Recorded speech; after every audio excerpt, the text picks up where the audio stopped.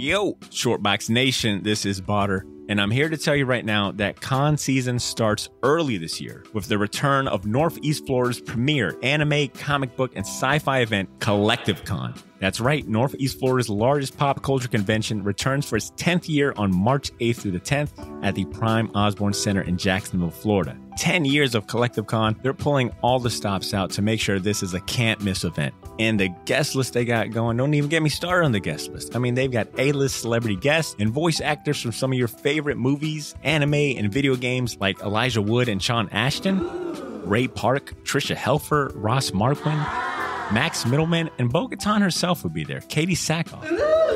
Tell me what other convention is giving you the opportunity to meet Frodo and Sam from Lord of the Rings, Darth Maul, and One Punch Man all under the same roof. Only at Collective Con.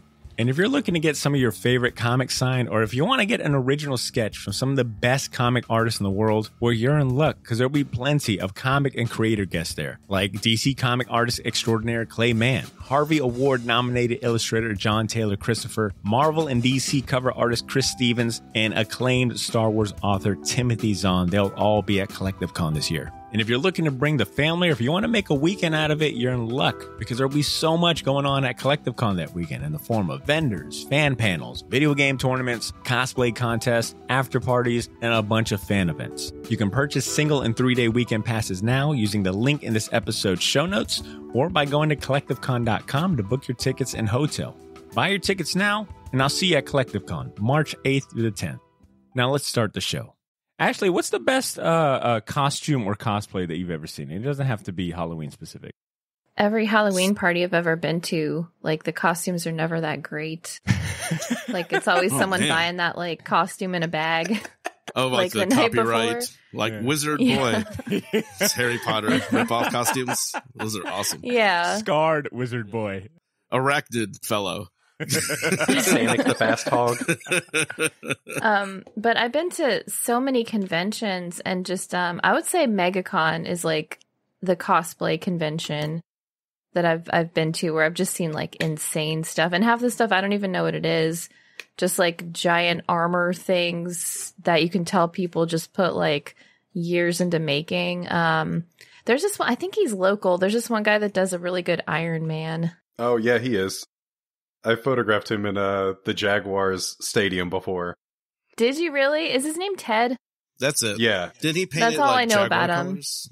Did he paint it? yeah, Jaguar he had the the Jaguar Iron Man Is that some like place in China made that for him? He like they de- designed it and made it. Shh, keep it, uh, keep Oh, it on my the bad. low, Ed. Keep it Was on embargo? That's American made. That's Amer- okay. exactly. Hey. Ashley.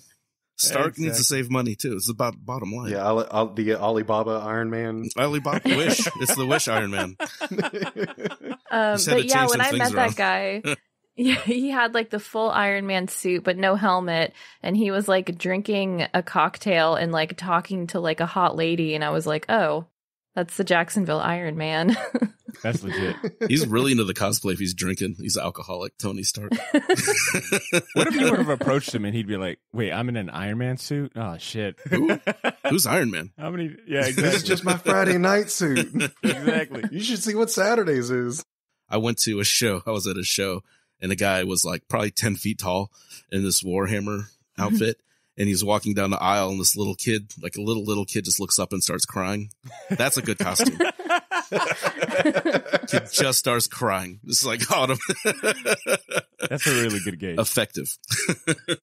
I do recall one. Might have been like my first game event. I had seen uh this dude cosplay as Kratos from God of War, and it Oh, was yeah. literally like the movie. Like I'm sorry, like the video game character jumped off screen and was grabbing a, a drink at the, this party. This dude was fucking ripped. I was like, come on, bro. Come on, man. like you could have just been you and it would have been impressive. But you know, you're cosplaying as Kratos God of War. Who let you in with those chains? I don't know if I want to see fat Kratos. I don't know. That's gonna be the next. Uh, that's gonna be the. That's gonna be the third game. Is Kratos? Is oh, I retirement love it. Kratos. Kratos. Just overweight. Retirement lazy. Kratos. Yeah. Good stuff. All right, let's go ahead and bring in the intro music and get this show started.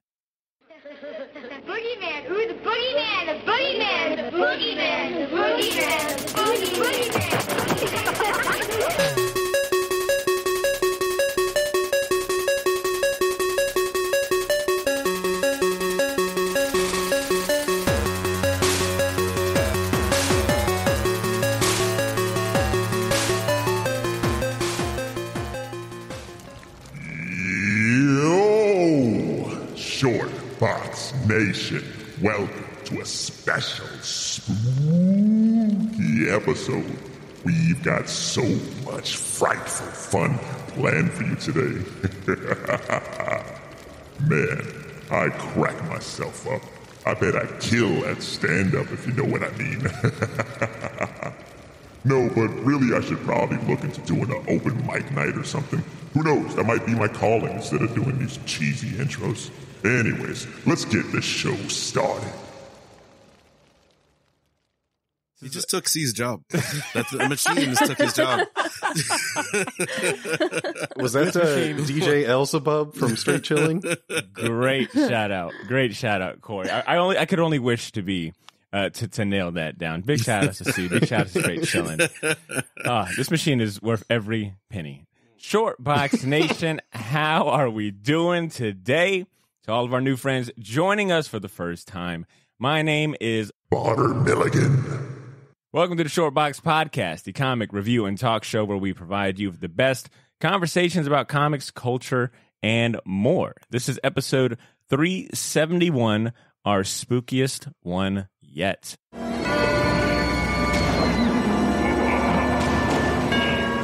I spent all morning loading up this machine, so you guys are about to hear it. You gonna play the Monster Mash next? no,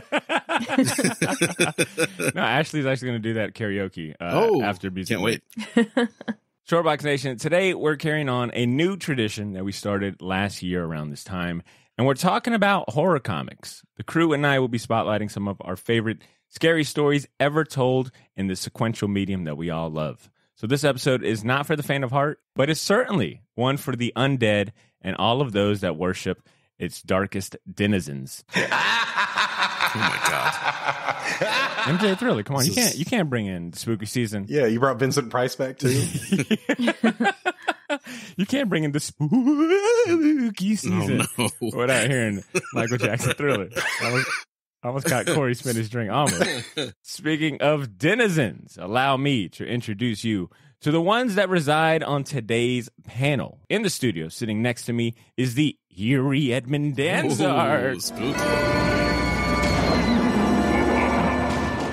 And calling in live from the seventh circle of hell is the murderous matriarch to be, Miss Ashley Lanny Hoy. What up, Ashley? Wow. Hey. Wolverine's uh, uh, claw Oh, sound is the best I had on short notice. All right, bear with me. y'all. Bear with me. And joining us this episode is a special guest co-host sitting in the fourth chair today. It's been a while since we had a, a fourth uh, member and a fourth voice on the show, but we're happy it's this guy right here. He's been a podcaster for the last two years, and he's a great friend of ours.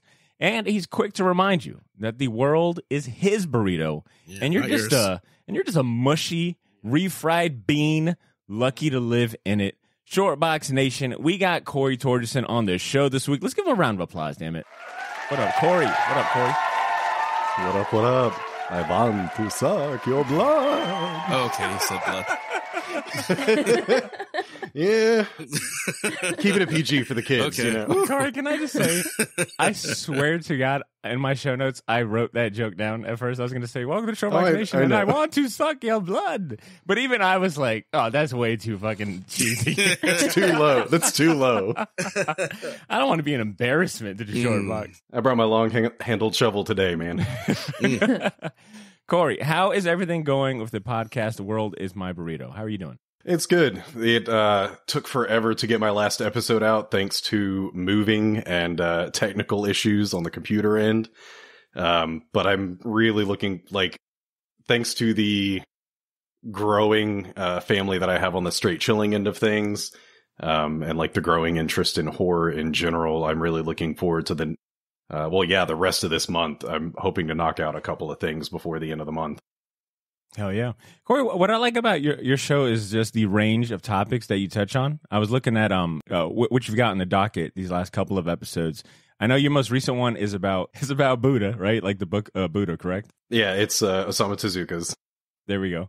And then the episode before that was about fucking Bioshock, and I just don't know.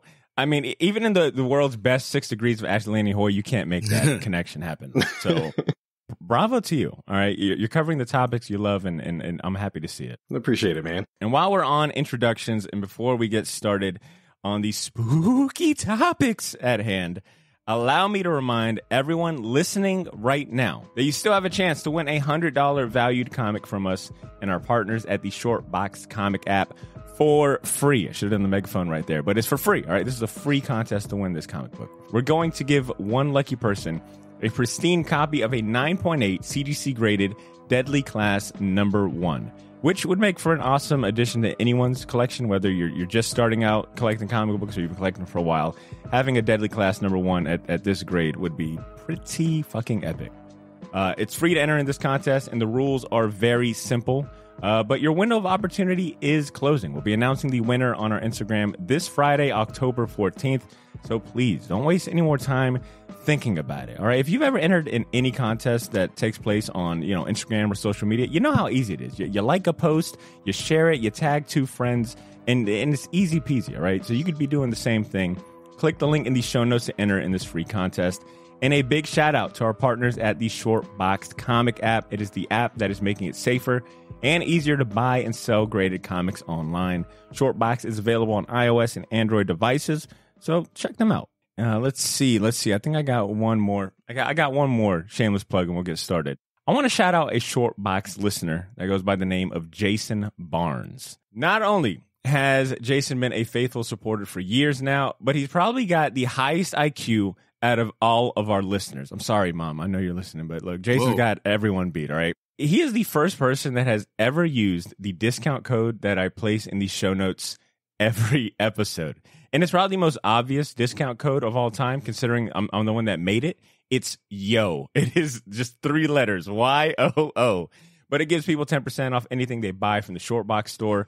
So I want to give I want to give Jason a round of applause for being a financially smart shopper. You know we love some frugal some frugal uh, shopping. We love discount codes. The struggle is real. It's always been real. Shout out to you, Jason. And this is the part where I plug the short box store and all the merch that we have available for sale there. We got hats, we got shirts, we got pins, we even got 3D minifigs. All right. Click the link in the show notes to cop some merch and wear that shit. All right. Wear that shit out proudly out and about. We're on the topic of Halloween this week. Wear that shirt with our faces to a funeral or, or rock the hat. Wear that shit. Wear that shit? So I'm channeling, um, I was, uh, I was channeling my best Samuel Jackson on that one. You know, Ed, how, I, how hype I get, you know, plugging, doing my shameless plugs. But wear that shirt with our faces to a funeral or rock the hat at your next seance. All right. You want to look fresh. They're not going to show up for if you're looking like a shithead. Those ghosts ain't showing up. Talk to you. But like my favorite TV life coach likes to say, stop wasting your life not thinking about the short box. You're sitting on the couch, you're watching TV, and your life is passing you by. Exactly. It's just passing you by. Yeah, yeah, you got no fresh short box merch looking dusty. Come on, man. Go to the store. Anyways, with those very aggressive and spooky, remember the spooky part, shameless plugs out the way, let's talk about the comics that will make you shit your pants. Oh, jeez. a little too aggressive. Guaranteed. There's a lot of shit in this episode. Wear wear that shit while you're shitting in your pants. Can't wait to see that on a shirt. There's a reason we don't sell short box pants or shorts, all right? You just mess them up anyways listening to the show. All right. Today's assignment was each one of us was going to bring your favorite or new horror comic to share with everyone. So kind of like a spooky show and tell. Kory, you're our guest of honor. How about you go ahead and kick us off? What did you bring?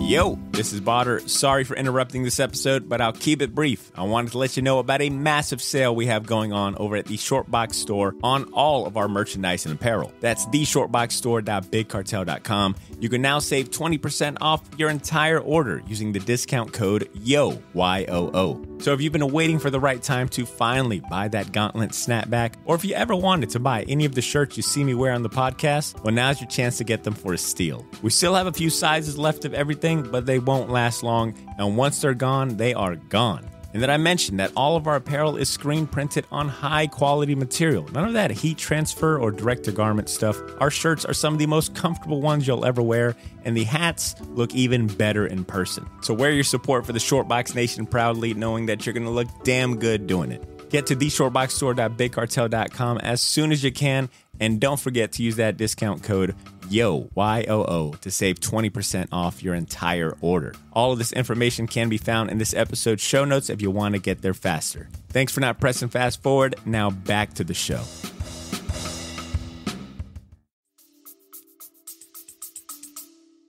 It was it was too easy to pick Junji Ito, so I had to go off to something else. Um, I picked Blood on the Tracks or Chi no Wadachi by uh, Oshimi Shuzo. He's a pretty long time running horror Japanese manga writer and artist. I picked this. It is a coming of age, ongoing still, started in 2017, um, psychological thriller.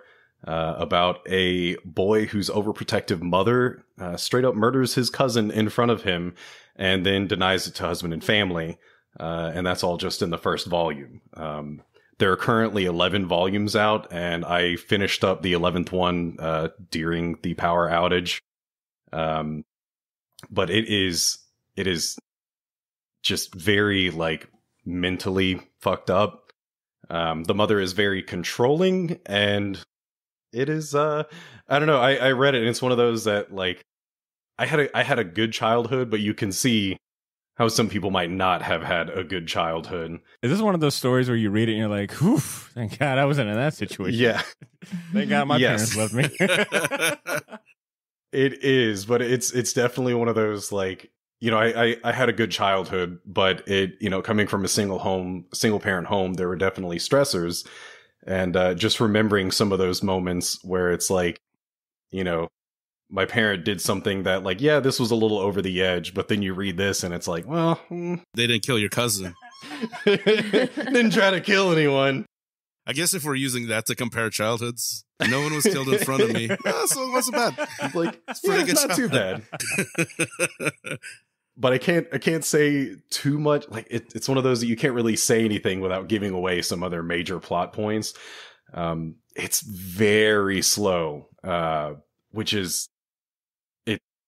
It works for it. How many volumes is it? You said you said eleven, or you're just so 11? yeah, in in the U.S., um, the eleventh one just released. There are currently thirteen in Japan. Is it done or is it still continuing? It's it's still ongoing. Oh wow, So they're at I think eleven was like ninety eight uh, chapters, something like that. Um, it averages five chapters per volume. Yeah, it's it's extremely depressing, um, and like just mentally horrific because it's very real. It's not supernatural in any way. it's like your Japanese bleak horror. Yeah. The uh, mono no aware is what they call it. Where I mean, the only way that I can phrase it is that um, the bad is bad and the good is worse. Towards the end of it, the or the the current end in the U.S. volumes, um, the main character Seiichi uh, takes this amazing step, like you know, super lot of mental effort to do the right thing, and uh, it does not go well for him.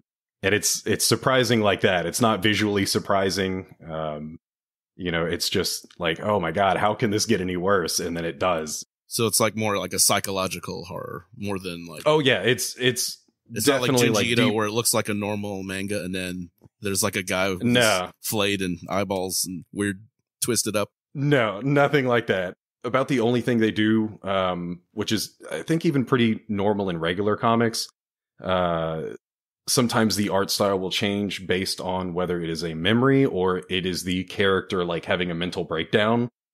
Okay, Like the moment the cousin is pushed, um, he's he's pushed over the edge of a cliff, and the moment the main character Seiichi sees it, like it's it's great because there's outlines of everything, but then the shadows and stuff like that are all like squiggly lines. So there's this beautifully like thin lined, perfect, uh, you know, art that goes into like squiggly lines.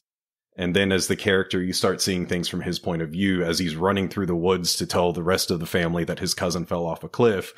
Um, like not that's I think the only time that you see everything warped, just that like visual, you know, the forest is warped, the trees are pulled to the side, everything looks like it's shot through a fisheye lens, but those are also squiggly lines because he can't see things clearly. Kory, when, you posted the um when when you added your item to the the outline, I, I went and checked out the the Wikipedia page. Correct me if I'm wrong, but I feel like when it comes to manga, the more slice of life, and especially like I guess horror manga, like horror horror manga, the more slice of life the uh, cover is, probably the more fucked up it'll be. Because that was the most slice of life cover I've ever seen. A little a Yeah. beautifully, pa- it looked like painted at that, like beautifully Yeah. drawn mother holding, Holding a a kid. adorable Yeah, I saw little that kid. too. I was like, oh, this can't be that scary. And then I read the synopsis and everything you said. I was like, uh, what I the thought fuck? he was trolling us. He's like, Parenthood is scary, right, guys? Yeah. All right, Ashley will know soon.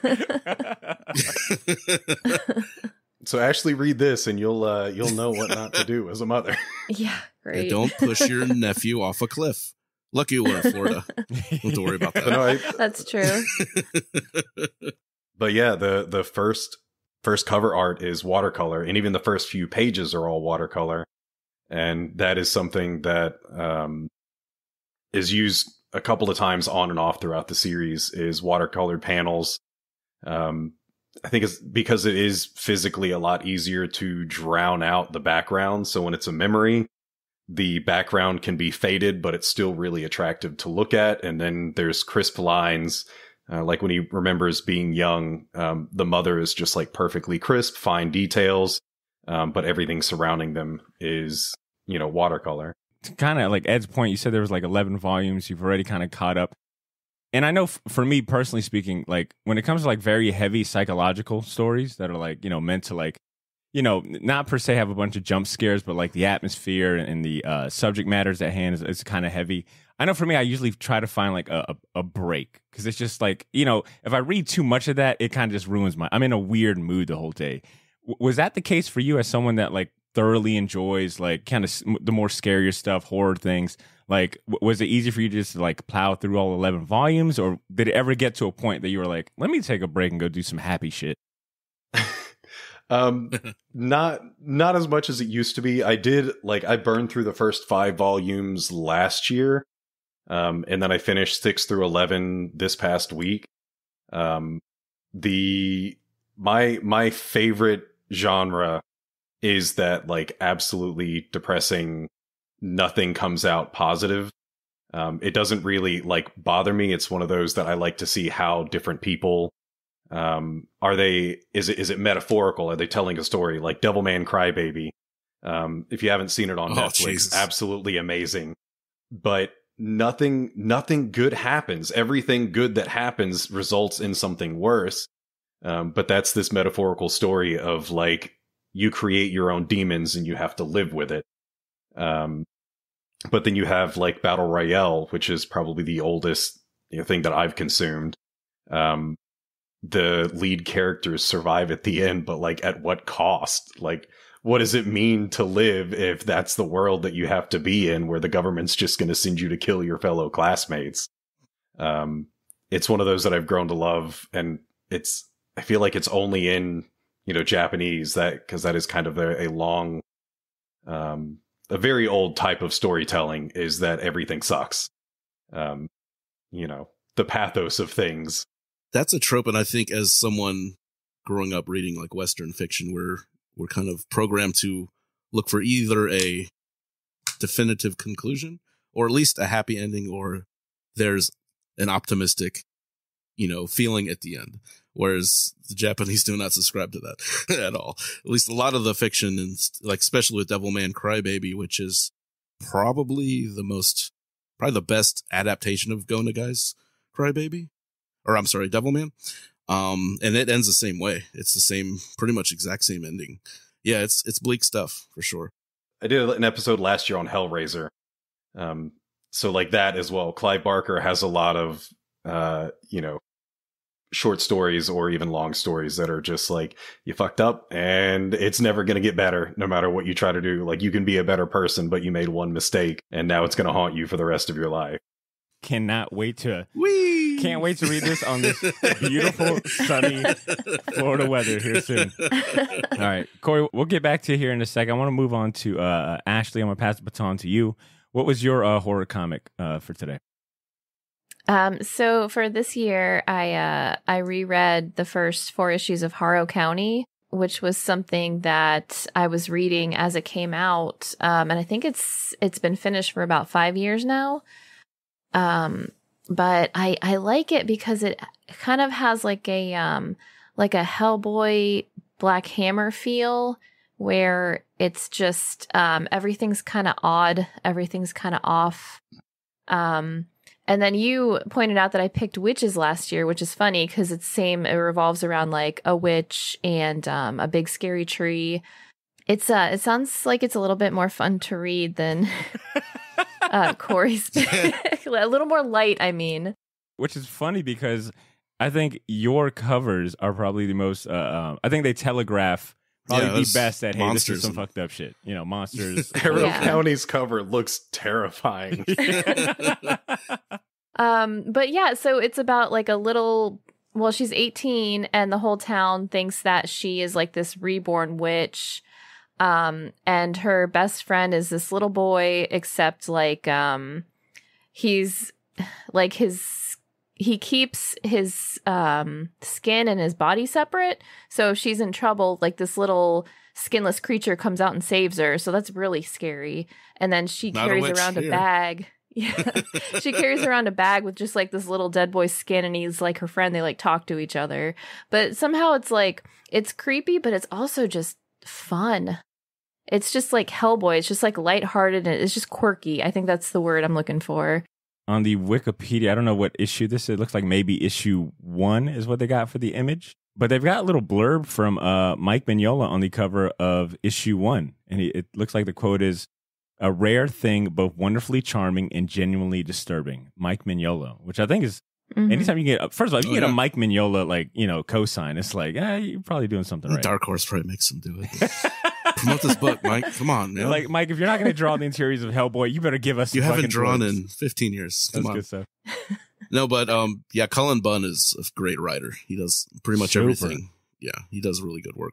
That's actually an understatement. Cullen Bunn literally writes, has written like Every- almost every title. I think he's still like, I think he writes 99.9% of DC titles now or, or Marvel at any given time. And then, uh, Ashley, are you familiar with this? Uh, I'm not familiar with the artist, Tyler Crook, but it says here that he's known for like his work with, with Mike Mignola, speaking of which, on like BPRD and stuff. How is the artwork? That so that's the only thing that um, I know him from is some uh, BPRD stuff. Um, so the artwork's nice. It's um, it's an example of good interior watercolor artwork. Mm. Um, because I don't want to keep harping on this, but I've seen bad interior watercolor artwork. Um, there's a, a right way to do it. And this guy he he does it well. It's quirky. Um, you can tell what's going on. He's got like really good lighting. Um, it's just the book is really fun. Even like it does have some really creepy little scary characters in it. But overall i think um, like quirky and charming. Like those are my two words for this book. It doesn't sound like it's something like Kory's title, where it's like very kind of slice of life, hi- psychological. Uh, it sounds more like maybe maybe jump scares, or, or is it more like in the on the kind of like body grotesque angle? Like where where do the horror aspects come in? It's more coming from like the the creature side because Okay. there are panels where you're like looking into the woods and or you're looking into like darkness in a panel and then the next one something's like jumping out at you. Um but yeah, he does a really good job at like drawing all these little creatures cuz it's hard to get you know scared by something like an image, I guess, like a drawn watercolor image. Um You're like, damn, that You know, I find um like most of like the scariest things i've ever seen are like movies so it's hard to get like a comic like a bright comic to scare you but there is some pretty creepy stuff in this All right, good stuff. Good pick, Ashley. Uh, Ed, let's go to you, man. What's what's your horror pick uh, for Okay. today? Charles Burns' Black Hole. It is basically it started as a 12 issue miniseries, um, but it took him 10 years to do. And if you look at the art, you can see why. That's all ink. Damn.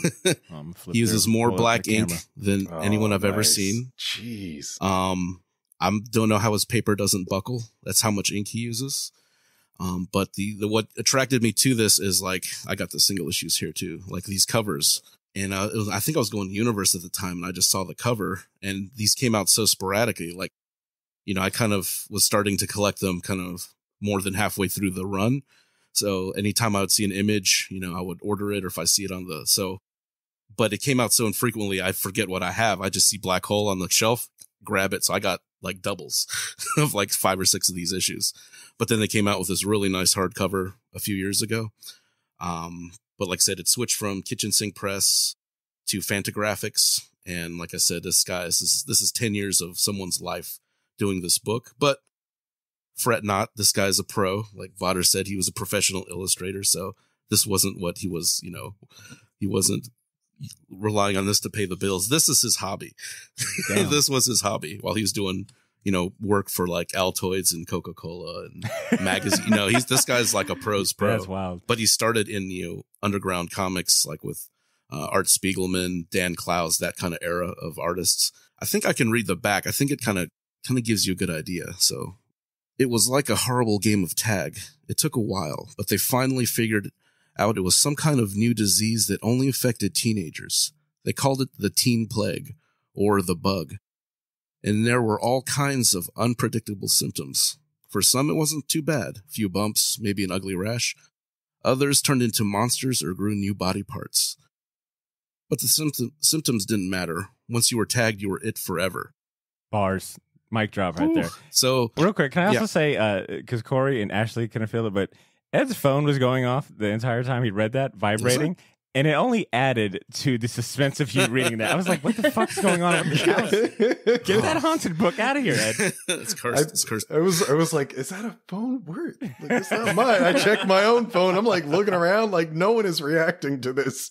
And so you basically you follow the like Chris and Keith are the two main characters that kind of split off and they kind of basically dealing with his disease. And it's easy to kind of say this is like an allegory for, you know, AIDS or for an STD or something, but it's this book, this takes place in the probably mid to late seventies when Charles Burns was like his age. So he's smart that he writes he writes kids when he was a kid.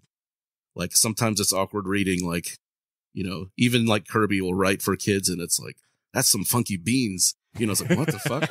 You know, it doesn't, doesn't make sense, but he's smart that he wrote a book about teenagers in a time when he was a teenager. So it makes, you know, makes a lot of sense, but the disease is kind of the backdrop. It's a, it's more of like a character study, how these kids are. So basically like, like the, that, that tag said. So some people get like a weird rashes or stuff that they can cover up so they can still go to school and still kind of live their life somewhat normally. But other kids get really messed up. You know, their faces get all messed up. They get large lesions and things like that. It's a lot of body horror. I guess if we're going to do the, uh, if, you know, X met Y type of thing, it's like, I guess if, uh, you know, David Lynch did Dazed and Confused with a little Stephen King in there. Um, because like I said, they don't really, the disease is there, but they don't talk about what caused it. They don't talk about how to treat it. That's really kind of the backdrop. So a lot of these kids end up living, and this takes place in like Seattle, the Pacific Northwest area. So these kids who are really messed up looking, they end up living in kind of like in the woods, kind of almost like a leper colony. So they're kind of hiding out in the woods. There's these weird little totems. And then this kind of, these murders start happening. It's a very critically praised book, but I think a lot of people will just kind of see the premise and write it off. Oh, this is a book about AIDS, you know, and not really give it a shot. Out the uh the artwork is stunning. Like that all that white. I've seen some of the original art like online, and he's not using any white marker or whiteout pen. This is all black and white. So it's all heavily penciled and then that's why it took him, you know, 10 years to make 12 issues. how meticulous this style is and how consistent it is throughout the thing. So, and it's pretty much this, what I, what I like about this book too is it has everything I don't like in a comic. It's about teenagers who gives a shit. Um, you know, it, Oh man, there's, Ed and that. there's, there's a ton of talking heads in it, which I always criticize comics having. Um, there's no supernatural twist to it. It's, you know, it's basically like kind of, like you said, it's a slice of like, kind of like what your, what your, what your pick was, Kory, where it's nothing really supernatural, no real big action sequences, a lot of crazy imagery where you get that Lynchian kind of bizarre, surreal imagery, but no real action things, splash pages, nothing terribly exciting happens, but there's this dread throughout the whole thing. The way it's drawn, all the black that's used. So when there's like a day scene or when they're, it's like, oh, wow, this is okay. It changes the mood in just two colors, no grayscale, no, no even little cheap little pops of color to kind of, you know, oh, this is what I'm trying to say. Not even like the scratch marks. It's just No. like solid. There, the only Yeah. thing that scratch marks is is he meets a one of the love interests. Her room is full of her artwork, and it's all like basically paste up, but of his sketchbook. So like, there's like a mm-hmm. scene. I'll find it and I'll send it to you. But there's a scene with she has all her artwork on pasted on the wall, and it's like there's different styles, but those were all basically photocopied and kind of pasted on the actual page. Hmm. So those weren't drawn Okay. on the page. So they were basically like pasted up if you know what I'm saying. So that's the Ah, only time you really see a difference in style when it's an actual piece of art within this world. So everything Okay. is consistent. Sometimes he'll use these wavy, wavy uh, border panels to kind of as like a time shift or a memory or a hallucination or a bad dream or a bad drug trip. So a lot of sex, a lot of drugs in this, um, but nothing I would consider exploitative or like you know just gross or you know it's not exploitation. It's just it's just in there. It's part of the story. But if you have aversions to you know pubic hair and penises drawn might not be the book for you. Um but like i said it's very and the dialogue is so straight and like how and i think if you were a white suburb kid you probably know people like these because this is kind of where it takes place this isn't I guess I can't read it. you know, I know white people. but there's like the drug, the college burnouts that you, Hmm. you know you go buy weed from. You, these are people that at a certain time in your life you oh. may or may not have met. when or I you first know. joined, uh, when I first started hanging out in Riverside, got it. yeah, there you go. yeah, those guys. I was gonna say when I lived in Riverside, but yeah, I'll I'll double down on that. And it, it is bleak throughout the way, throughout the whole way, and the ending is very ambiguous. You're not really sure. One set of characters, you kind of see there's some hope, but there's just an uncertain hope to it. The other one, I don't know. It's kind of leaves it up to, in the air whether it's the end of that life or it's just, you know, thinking what to do next. What's the next step? So I think the allegory for the uh, the disease is more adolescence because this only affects you know teenagers in this world. So I think the allegory is more not AIDS, not STDs, but it's just kind of that awkward transition from being a teenager to adulthood and how weird and you don't know what you're doing. At least I didn't. I think a lot of people don't, but no direction. You're not sure what's going on. And then that kind of, I think that represent that. And another cool thing too is in the book, he does these yearbook pictures of the kids. And I'm thinking this was his yearbook when he was a kid. He's drawing portraits from this yearbook. So This is a really well drawn book. so one page is like the kids normal, and then you see the kids affected by the disease on the uh, on the back page. So it's like, and even him, check it out. This is him now, and this is him as a kid with that the Yeah, fro. This reminds me of, like I'm getting like Hernandez brothers. Oh, yeah. um, uh, Love and Rockets, and a little bit of like Mike Allred too. Something about how like flat everything is. flat, how clean, Yeah, yeah, yeah. and like perfect the line is, and he's like in that group too. Like I said, I think they're pretty much contemporaries. I think Allred and him, but you can see there's some influence going going that way. But this is he hasn't done too many too many books. He's done a handful of other ones because he does, like I said, he's got other things he's doing. but um, like I said, this has been, I think, why I like this so much, and this is kind of on my top five of all time Damn. is because it has everything I wouldn't normally seek out in a book, but it's done so well that I love it. You know, it's that's what I always come back and I always read it, and I'm always like, how did this guy? How long did it take him to draw this? Because everything he draws, from even just foliage or even just like an ashtray with cigarettes, it's like, man, this is incredible. So yeah, if you haven't seen Charles Burns art, man, just check it out. It is it is it is probably the best brushwork and inking I've ever seen. That is one hell of a presentation, Ed. Uh, and I'm glad you explained the story because I've seen this image, this cover, uh, um, the the cover for the trade and hardcover, like everywhere. At one point, it was like, like you said, in a lot of like best of lists.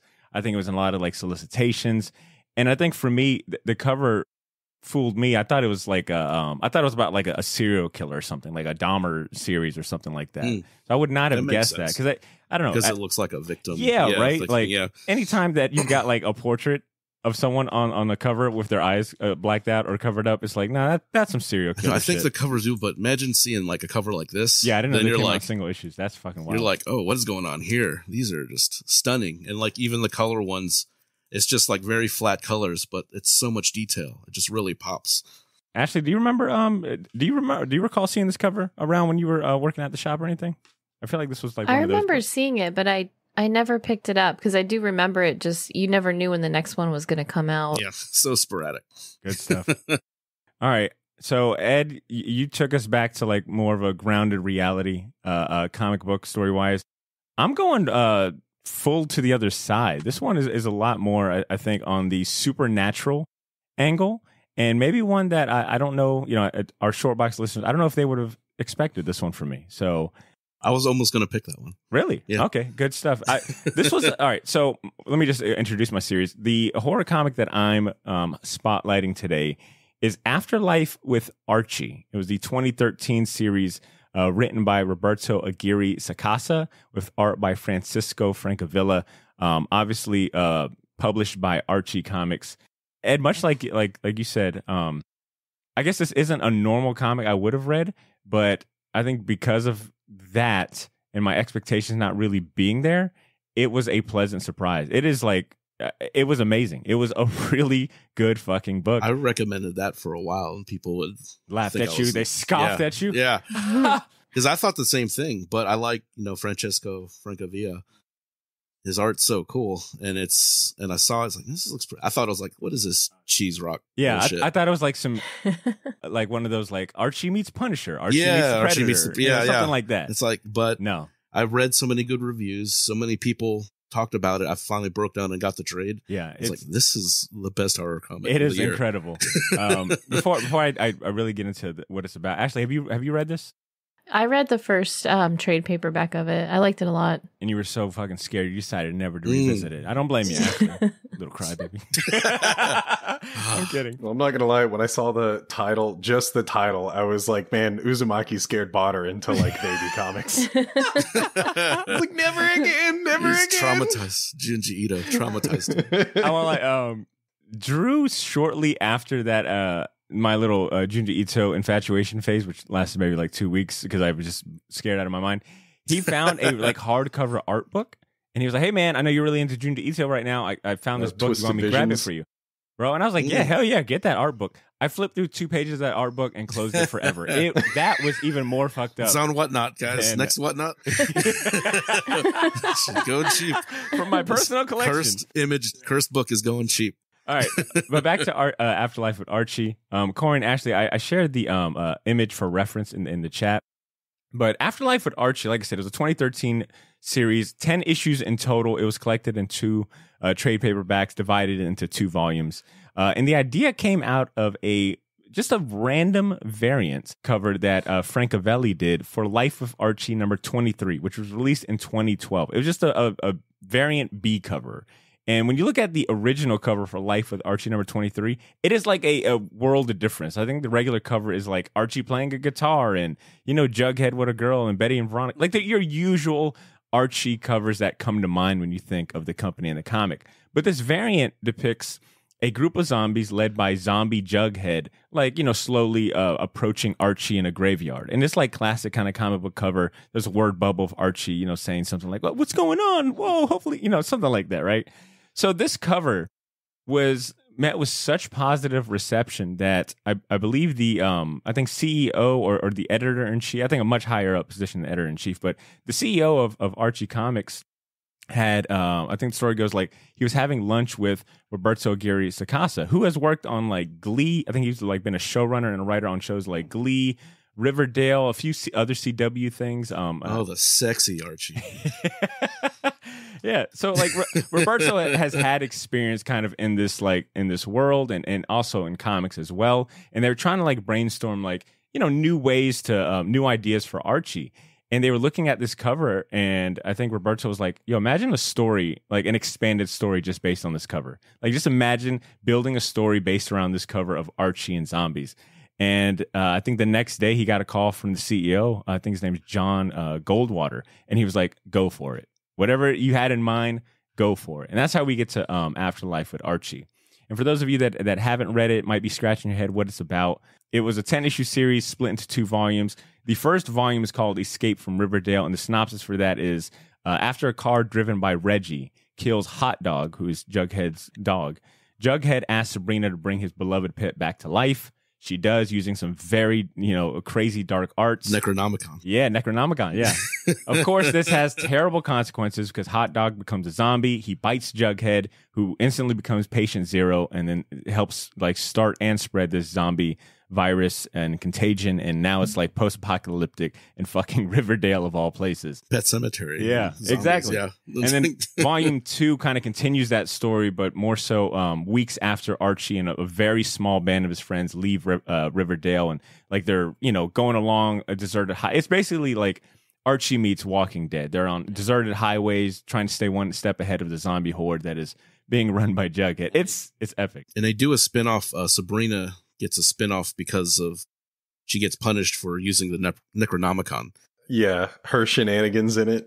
i haven't read it but I, i've heard really good things about it And that's But a series that I, I started reading and, and loved it, but I was like, man, I don't know why she got her own series. So, commentary wise, so you got like two ingredients, and they're both like very familiar tropes. You got Archie on one hand, which is small town USA, slice of life, like teen romance comics from the 40s. That is, you know, I think it's like the biggest brand when it comes to like teen romance comics that's still around to this day. It's crazy. And then you got zombie apocalypse story on the other.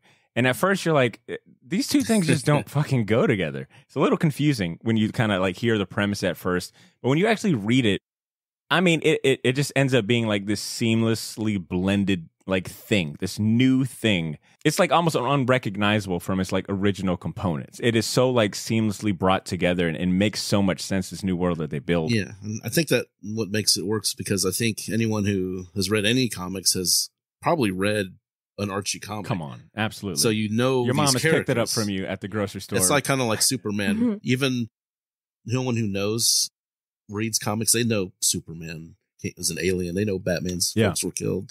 They know Archie and it has like Betty and Veronica going after his weird ginger ass. Everyone knows that. And then Jughead likes his hamburgers or hot dogs. Loves his right? hamburgers, but still skinny.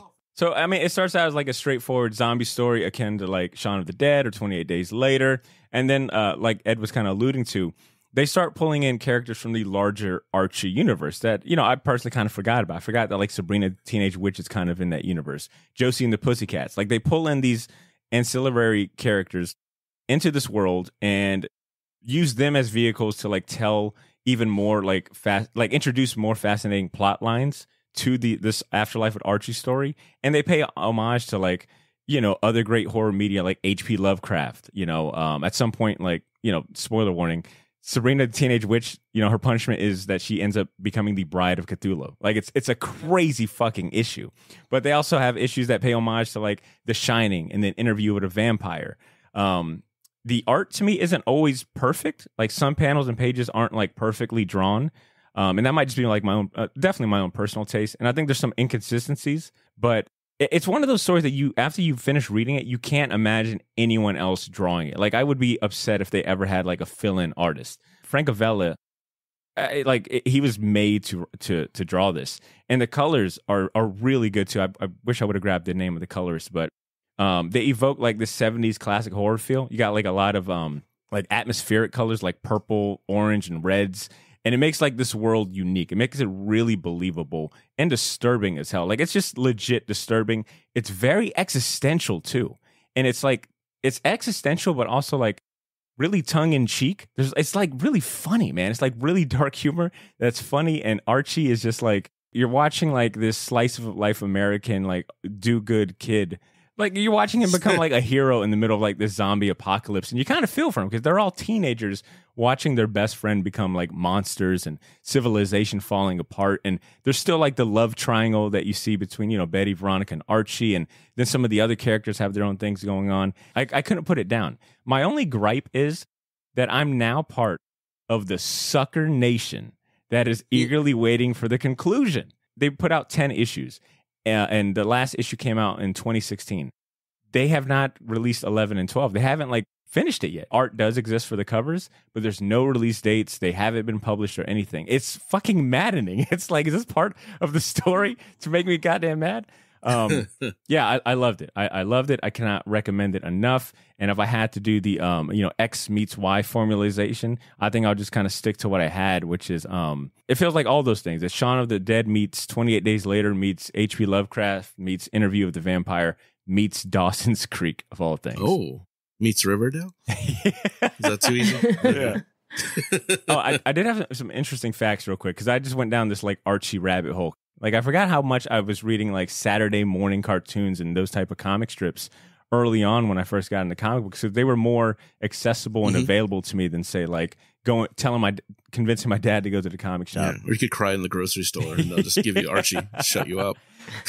so Afterlife with Afterlife with Archie was the first comic from the Archie line to be sold directly to comic shops versus newsstands, and which was kind of mind blowing and, and impressive. Like I think I forgot that. Oh shit, Archie Comics is still primarily a newsstand market comic. You can't really find them in, in comic shops unless maybe you order them. They're you know meant to be sold in a um you know spinner rack at a, This at was a market. big shot in the arm for the company. For sure, yeah. yeah. It is also the company's first title not to be aimed at children. It is rated teen plus. Um, at issue eight is when they decided to put a um, an Archie horror logo, which spawned its own Archie horror imprint, and they've published other kind of horror themed Archie comics like like the Chilling Adventures of Sabrina, S- Vampironica, which is the vampire of That's Vampirana, awesome. and then they got a whole bunch more. Is that what she is? I never picked up on that. Yeah, that's pretty funny. And, and lastly, Both have uh, the same hair. Archie Comics was following the Comics Code of Authority standard up until 2011. I can't recall when Marvel and DC and some of the other ones like finally, you know, did away with it, but I know it was well before 2011. Okay, so up until what is that? 11 years ago, Archie Comics was still following this very kind of like outdated uh, uh, standard system. And I don't find it a coincidence neither that once they dropped like that outdated censorship standard, that you get this masterpiece. I think Mhm. there's something very poetic and maybe like very something to be said about like dropping censorship and just kind of You embracing. loosen the grip and you get more Yeah. creativity. You know, you loosen your guidelines up. Yeah, so I I loved Afterlife with Archie. It is like genuinely disturbing, just because you're seeing very familiar characters that you associate with like feel good, and they're good, they, they could do nothing wrong, and you're seeing them in these positions. You're like, oh shit, you got you like really feel for these guys. So, um, yeah, it was shockingly good. I was like, shockingly this is good. good. Scream, frighteningly good. Uh, spooky season after all. this is one that you would you could give someone that is like I love this time of year. I love Halloween. I love getting in the mood. Every day I want to read some, you know, horror comic. This is what I would definitely recommend. Um and and with that being said, I wanted to um I wanted to go back to, to Kory real quick and, and as far as blood on the tracks, Kory, I was curious to hear your like, you know, XY formula slash recommendation. Like how would you describe your comic to someone? I would combine this um the Babadook meets VC Andrews Flowers in the Attic. Um so the Babadook the film um I love that because it's like metaphorical for living with depression. It's a great example of like a mother-son dynamic um that's like not working and it is uh more so in the case of the mother is the You reason actually why don't it's watch not the working. Babadook. That movie's so depressing. Oh, you already watched it? Oh no. Yeah. Dang it, man. and then VC Andrews Flowers in the Attic is uh I recently listened to the audiobook uh but like 70s or 80s horror um but it kind of comes down to a mother that just does not give a shit about her children. Um they literally have to live up in an attic um in a mansion uh for a couple of years. Um it's one of those that it's like it seems like the mother cares but it's all lying. And a lot of that goes hand in hand with Hmm. um like blood on the tracks. Uh whenever the son tries to when he does everything the mother says it's not right. When he doesn't do what the mother says it's not right. When he hangs out with someone they're the wrong person. Um but it's just this like constant oppression. And VC Andrews is kind of like that where like no matter what the kids do you know the mom Uh, that mother is a little more of a, a lying piece of shit, but you know, for the most part, it's like, mm, I mean, that was okay, but you know, so yeah, uh, the Babadook meets V.C. Andrews' Flowers in the Attic. Ew. If you've ever read that novel, Good stuff. Ashley, I'm, gonna- I'm gonna go to you. What other Halloween related media are you going to be consuming for the spooky season? I have um I actually I have a list of so I like scary movies, but I have five movies every year that are like always on the list. Ooh, come on, Um, Ashley. You know, we you know we love a good uh, uh, you know we love a good buzz list. Hmm. All right, so Trick or Treat. Oh, gonna- okay, yeah, That's, gonna be such in a theaters. Halloween movie. That's going to be in theaters for re-released in theaters for a couple days. Cool. Yeah. I gotta pay for it. Um, Beetlejuice okay, classic. is Okay. classic. Um, the old Dawn of the Dead. Mm. Um, Oh. Shaun of the Dead is probably Oh, my favorite that's a good one. one. And then last one, um, every year we watch Young Frankenstein. Oh, classic. That's a good. You got some range on that one. what a good pick. I like that. Hey, what about you, man? What, what are you going to be uh, consuming for the Halloween season? Um, usually I will. Brains. I will- help it, I'm sorry. You left that note in. One of my favorite artists who does kind of creepy stuff is uh, Richard Sala. Um, so I usually I have a handful of his books, and I got one that was released after he passed. Um, I think a year or two ago. So I need to actually sit down and read that one.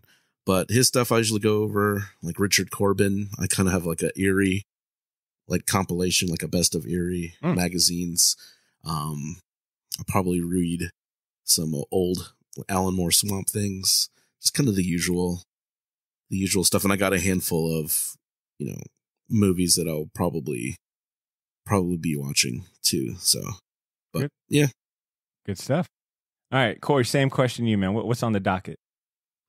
Um, so I have already consumed a ton of horror stuff, uh, but upcoming, I'm probably going to watch and compare the Clive Barker Books of Blood series that's on Hulu.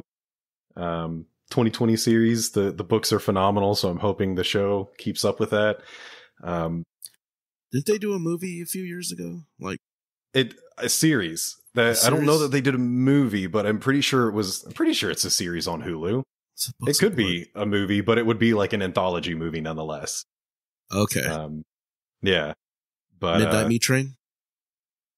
oh man, I need to. I haven't watched that in years, but the the book is the short story is great. The only one thing that I watch every Halloween is probably Shaun of the Dead, um, because it's just it's too good as a movie. Uh, but I think I don't know. I I watched every Hellraiser movie last year. Oh my Um, god!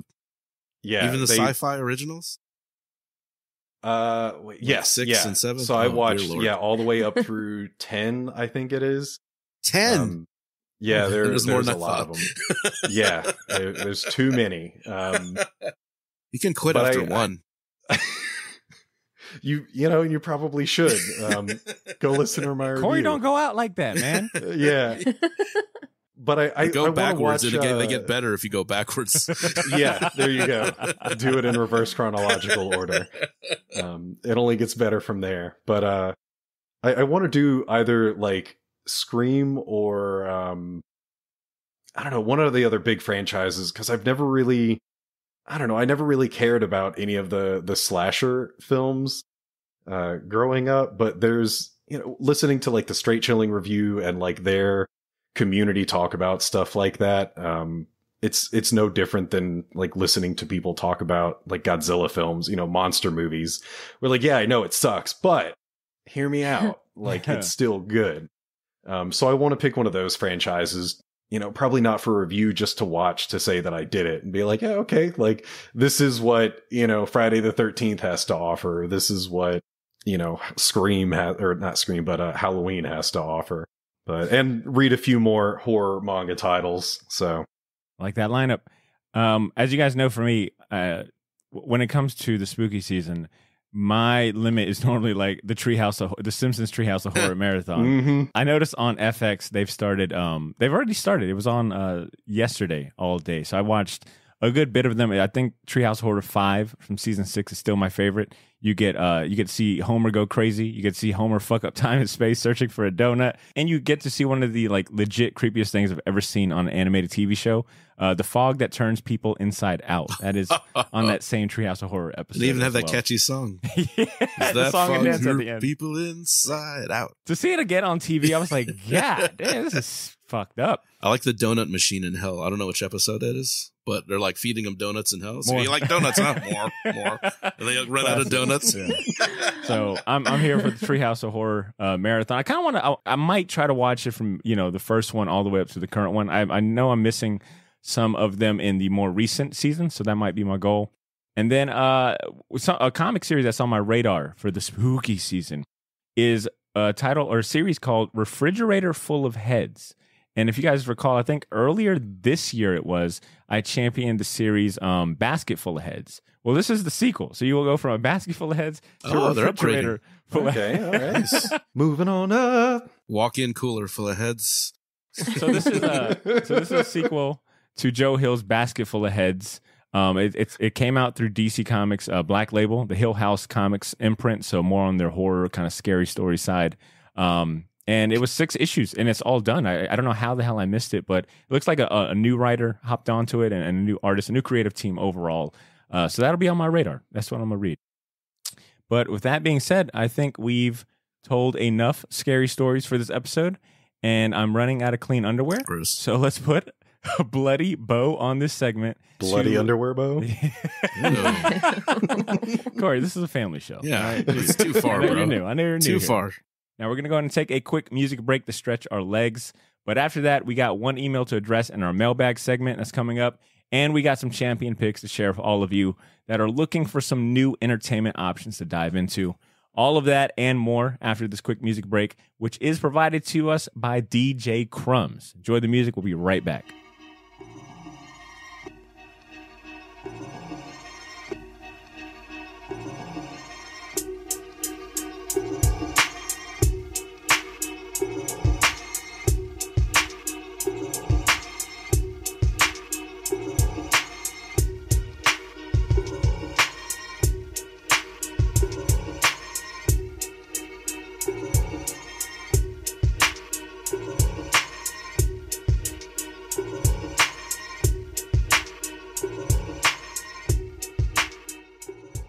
Kory, what's your vote on the what to name Ashley's kid? Did you vote yet? Good question.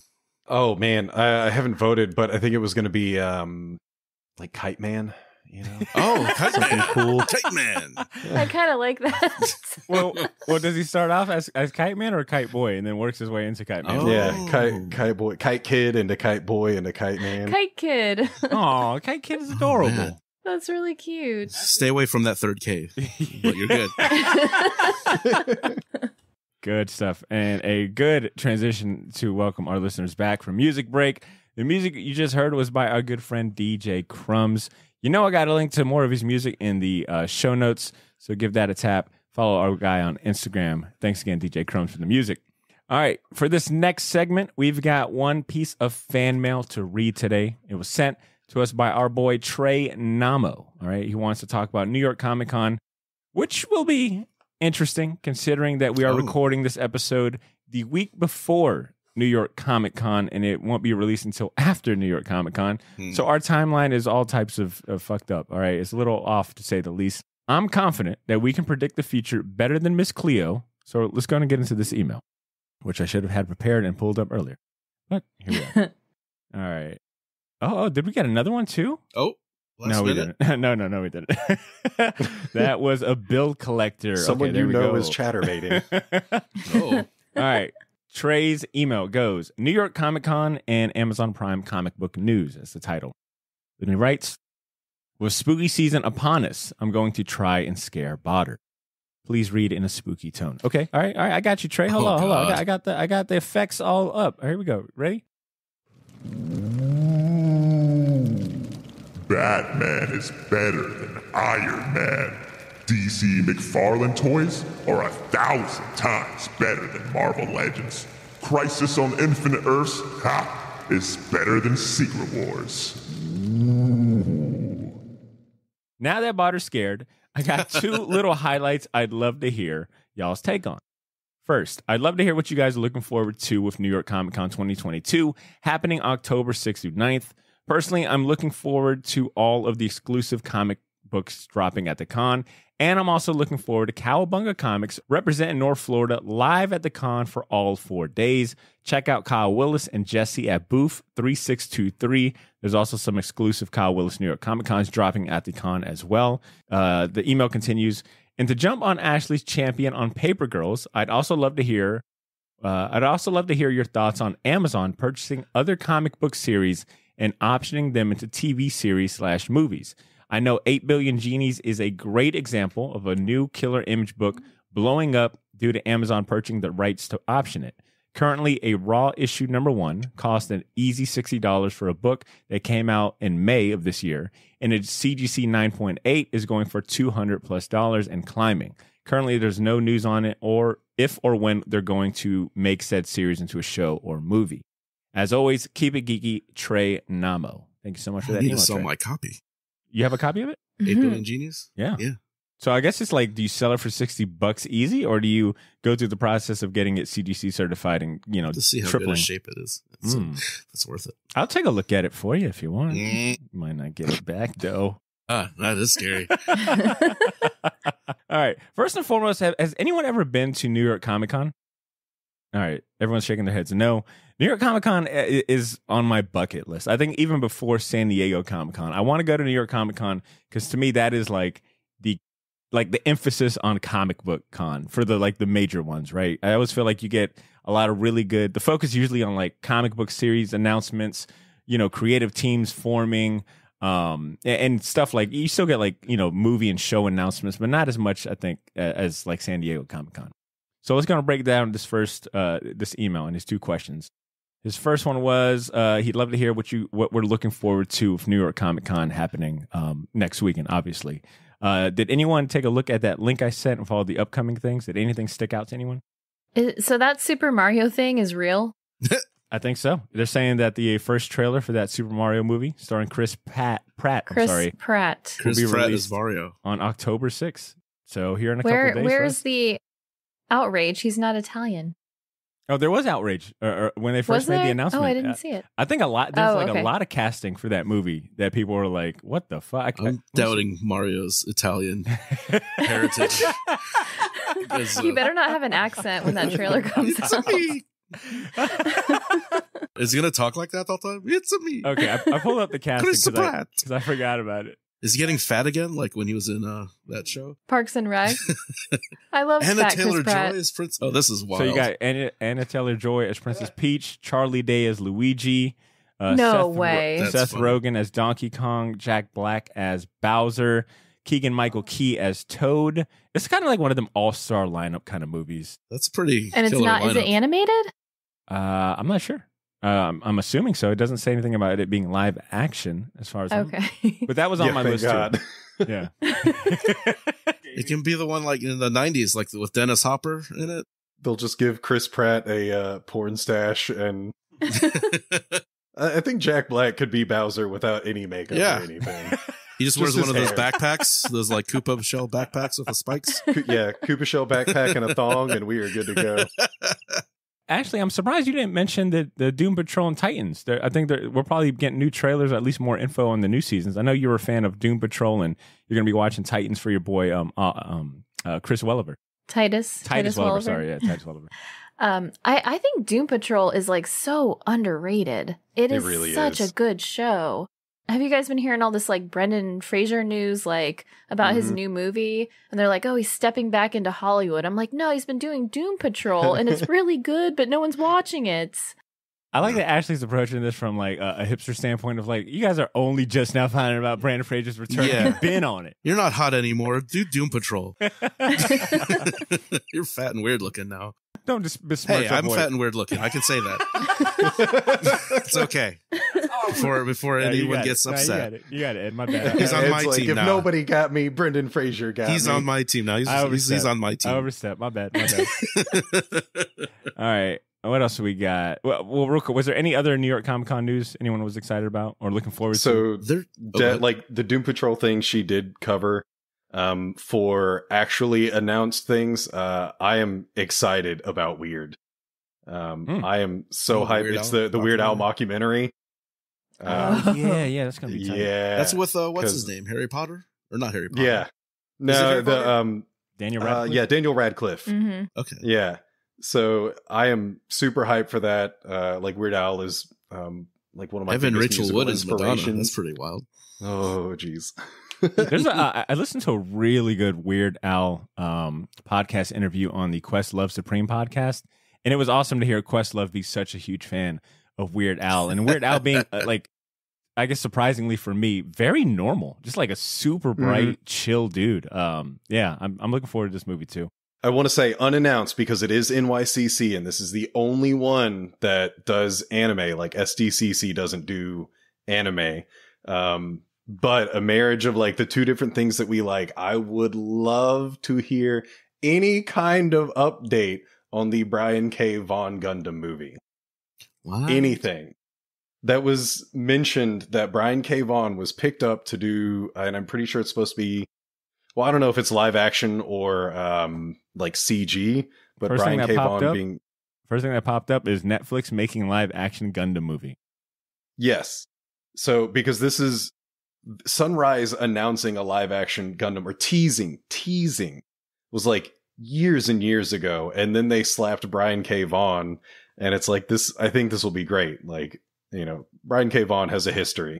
I am maintaining my composure for the show, which is unusual considering what I normally behave like on the show.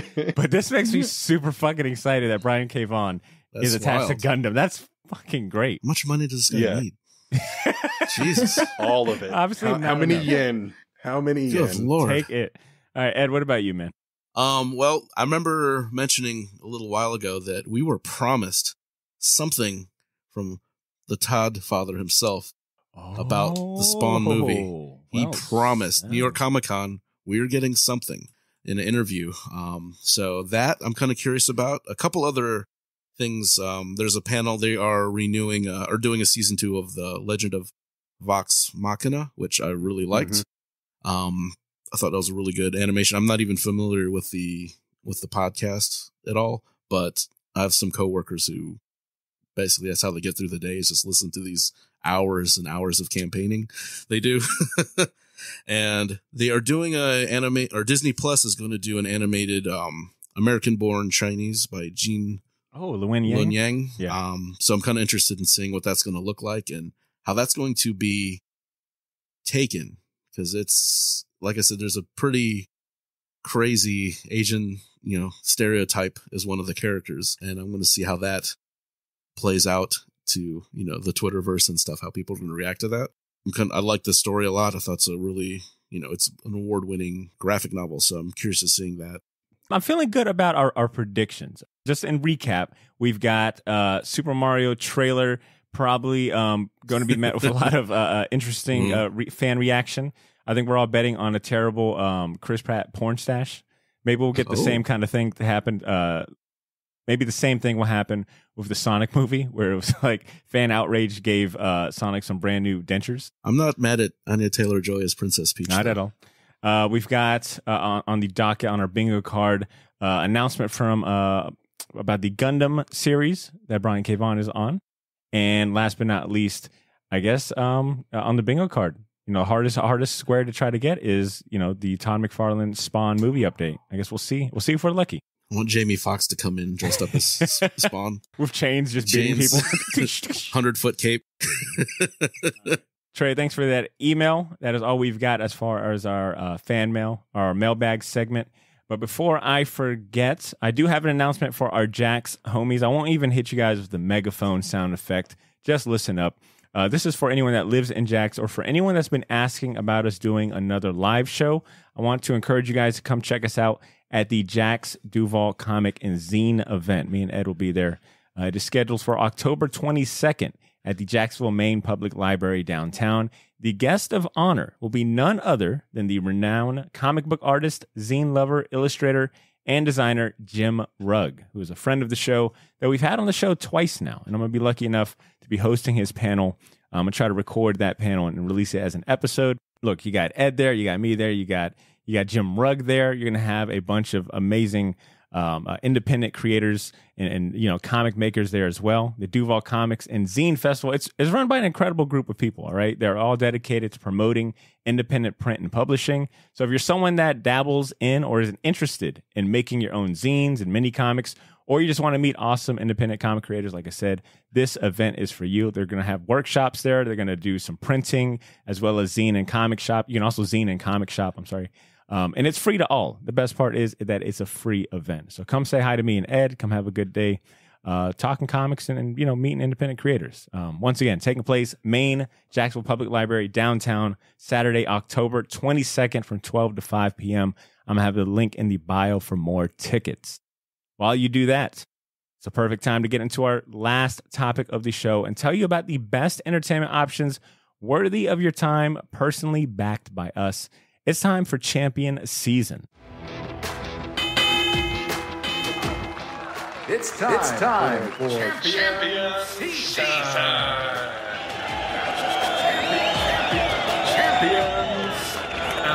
Champion season is a part of the show where we highlight other worthwhile entertainment options like movies, TV series, books, video games, and anything else that we'd personally recommend to our friends.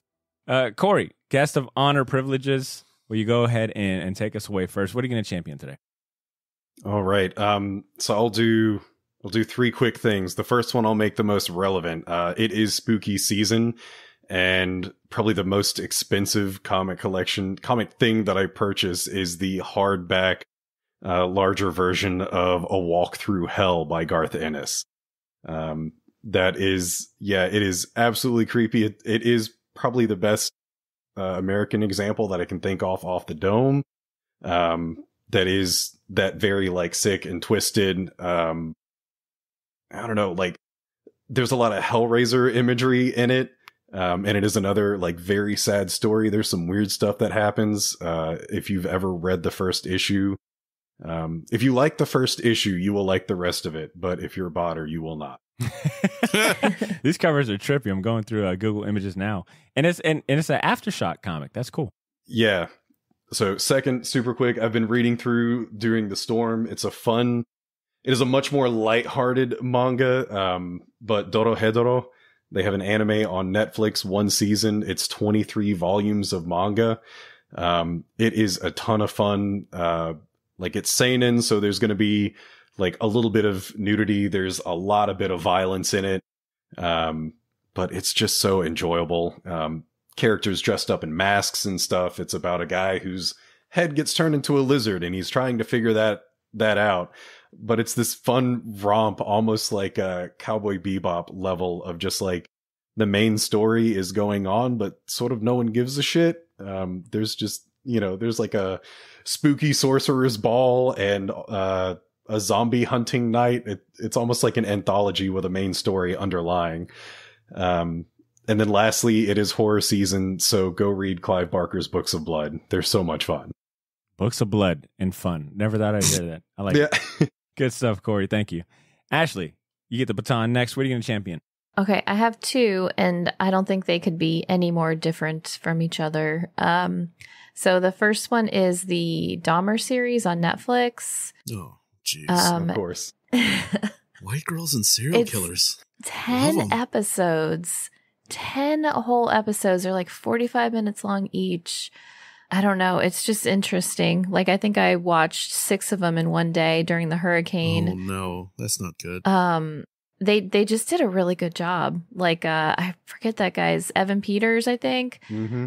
man he's freaking creepy. Like he he does the part well um and it's really like there's a lot of of facts in there. Of course some of the stuff you're watching and you're like there's no way that that's how it happened. But um i think just overall like there's a lot of information. Then you get to see like after they have all the episodes of like the horrible stuff he did you get to see like um how it affected everybody around him. Um so i think just like as a whole it was just really interesting series. And then my other one is an Instagram account uh, for Monkey Cat Luna. and it is a cat. Here we go. Me and Ed. All her Grab their videos- phones. it's a cat eating treats, and she like scrunches her nose and just does like cat ASMR into like a microphone. And literally, like, if I I've had so many stressful days at work. Well, I will just sit in my car and just watch these videos until like my blood pressure goes down. It's Aw. just like just so nice to have like something like self-soothing on your phone where you know that like as agitated as you are, you can just sit down and just watch this cat and just like relax before you have to go back to work. You were right. Those are completely opposite sides of the coin. But that sounds like an instant Well, follow. there's Dahmer eats people. The cat eats stuff on microphone. yeah, eats treats. Yeah. Yeah. Ed, you make magic happen sometimes. That's good. good stuff. Thank you, Ashley. I'm glad it wasn't the Jeffrey Dahmer AMS. Oh. That sounds like a good YouTube idea or a good SNL skit. Ed, take us away. What you got? All right. This came out a few months ago, but they released a book to go with the Potter's t shirt. Oh It's, yeah! uh, wow, serendipitous. Jim Lee's uh, legendary card set, which impacted any 90s kids who was into comics. Um, they did a book basically telling the, whoa, something happened in the next room. I guess think the mics. touchdown. I think the mics might have picked up life cheering the Jags right now. Go Jags, baby!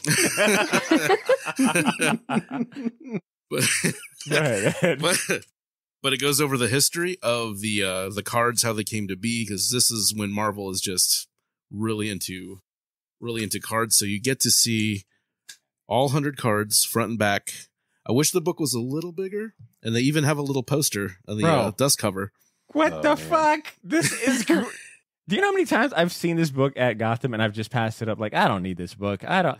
I don't need this book. You still I need this don't. fucking book. No, I still do. I, I do. I do. I was it's wrong. awesome because like i still have the card set from when i was a kid. I still have probably one and a half sets left even the hologram cards.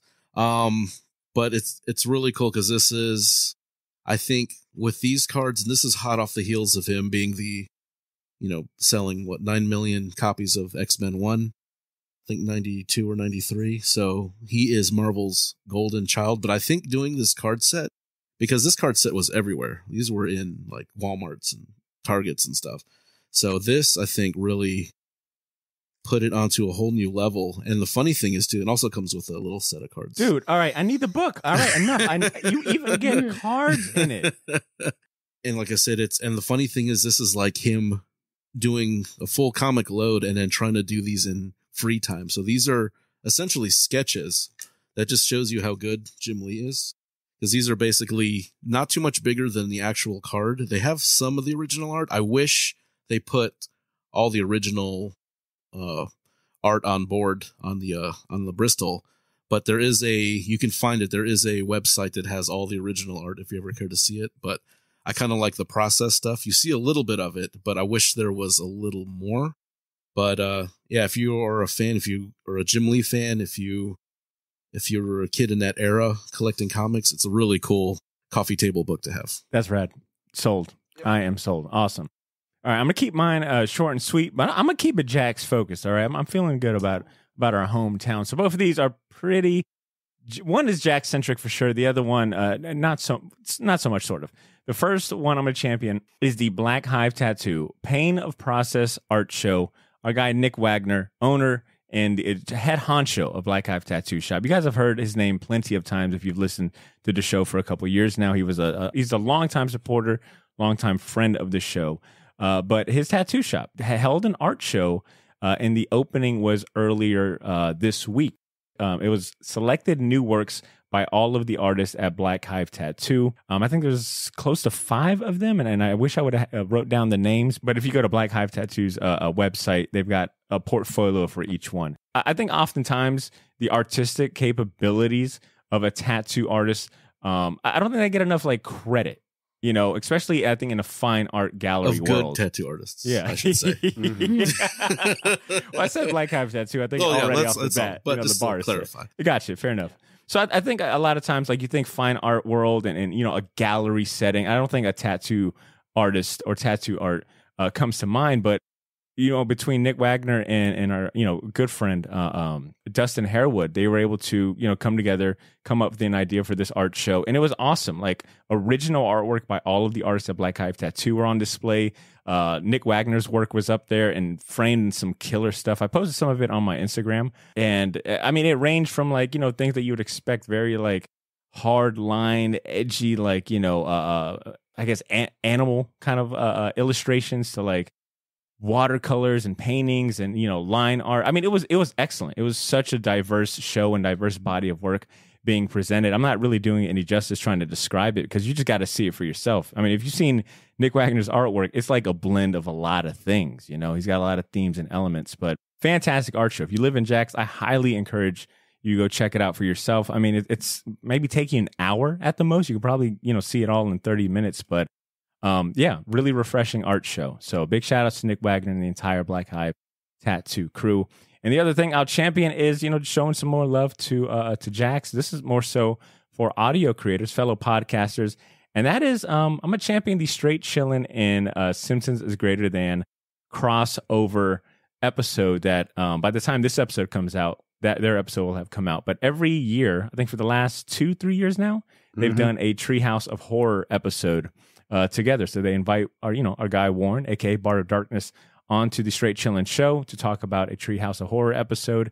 And it's a lot of fun hearing them too. You know, not only do I personally know both camps, I know Warren, I know Robbie, I know the Straight Chillin' crew, but you know, I respect both of their podcasts. And when they come together, it's like it is fantastic. You know, like I'm really proud of seeing two excellent podcasts come together and the fact that they're both from you know the hometown i mean come on you know that's an easy champion so if you're looking for more podcasts to listen to give that a listen so once again my champions black hive tattoo paint a process art show at the kent gallery at kent campus fscj and the straight chillin treehouse of horror uh, episode with uh, simpsons is greater than podcast check those out Short Box Nation, it's now your turn to chime in. If you got a killer champion that we should check out, share it with us. Or tell us if you try out any of the recommendations that we shared today. I know we tossed a lot of recommendations at you. Um, if you try one or two or all of them, let us know. We'd love to get some feedback on it, right? Hit us up on Instagram, Twitter, or email. Ashley, it's your favorite time of the show. It's time to Oh. wrap this shit up before we officially uh, sign, seal, deliver, and call it a day. Would you mind doing the honors? Uh, can you give us some parting words, uh, maybe some you know lessons learned, uh, anything? What you got for us? So this episode we all had our picks and we talked a lot about like supernatural scary creatures, um body horror and zombies and stuff like that. But I think that Kory really taught us that there's nothing scarier than the pain and despair that comes with raising a child. so that's my takeaway for this episode. Oh man, Ashley, you Oh. learned so much from these shows, don't you? That was good. That was so good. Caught me by surprise. That's only if you push your nephew off a cliff. And you know what? Sometimes a nephew needs a good pushing off a cliff, right? You know, to learn the lesson. Sometimes you can't help it. Yeah, you're right. He tripped over my foot. Kory, I do want to say well, on the topic uh, of the excellent uh, Kory Torjussen as a co-host today, I do want to say thank you so much for joining us, Kory. It's a pleasure seeing you. I'm glad to hear that um, you know you ended up being safe and all with the, with the hurricane, and um, and and you know what? I'm I'm- feeling I'm feeling very friendly today. So I want you to go ahead and give a plug for the world is my podcast. Let us know what you got going What? on, brother. World is not. no, I'm sorry. The world is my burrito. Sorry, sorry. There we go. There we go. No, Badr, yeah, I, uh, I do want to say thanks to you for the podcast. The world is my that's, podcast. that is- that's the name of my memoir book. Sorry, sorry. Oh, I feel like that would be the name of Randy Newman's podcast. Since all he does is just say whatever's currently happening. Um, anyways, so I do want to say thanks for the invite, uh, especially like horror of all things. I love talking. Um, you know, this is it's a great crossover thing. Uh, but if you want to listen to more of The World is My Burrito, um, you can search The World is My Burrito or Twimby, that's T W I M B, um, on any podcatcher of your choice. You can find me on social media, though I am most active on Twitter at Twimby Podcast. Um, yeah, it'll, the next couple of episodes will most likely be spooky, probably even leading into Christmas because like, I, I have nothing to say about Christmas except Krampus talk, which is more horror. Come yeah. Gotta Um, keep it but yeah, thanks again, and uh, hopefully someone actually enjoys what I read and it doesn't down them and depress them, and uh, you know, always look on the bright side of life, guys. Oh, it's a Randy Newman callback. no, no, that's uh Monty Python. Yeah, life's a piece of shit when you look at it.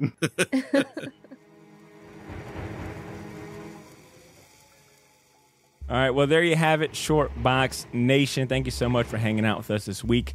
If you enjoyed this episode, do me a little favor, all right, and help spread the word to a friend or someone you know that loves comics as much as we do. And if you're feeling extra generous, consider leaving us a five star rating and review on Apple Podcasts or Spotify. Now, next week, Zach Armour from the Comic Adventures YouTube channel. We had him on the show. Uh, was it last year or the week, year before? Whenever we did our Suicide Squad Spotlight episode, he was our special guest co host then.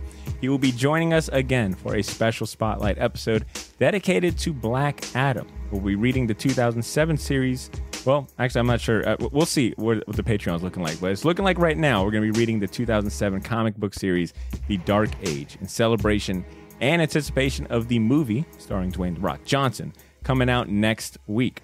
Now, if you're a Patreon subscriber, you know, I know we're talking about Halloween this whole entire episode, but Christmas came early for all of you. We're going to aim to give you not one, but two bonus episodes this month. The first one is going to be a new installment of our Pilot's License series, and the other bonus show will be a previews wishlist episode with Drew. You got that to look forward to. And if you're not a Patreon subscriber and you're like, uh, what the fuck is going on?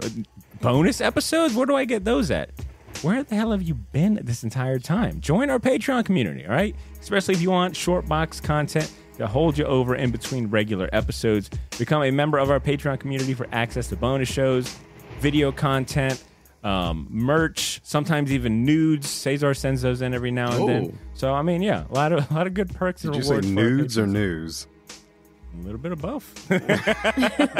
New nudes, newer nudes. Click the link in the show notes to get to our Patreon community and level up your fandom. Until we meet again, Shortbox Nation. I'm just gonna say it. I mean, we're gonna see each other, but before the, the month is over, I'm gonna say Happy Halloween ahead of time because why not? It's our spooky episode. Why not? Take care of yourselves. Have a great day, and please continue to make mine and yours Shortbox. We'll talk to you soon. Peace.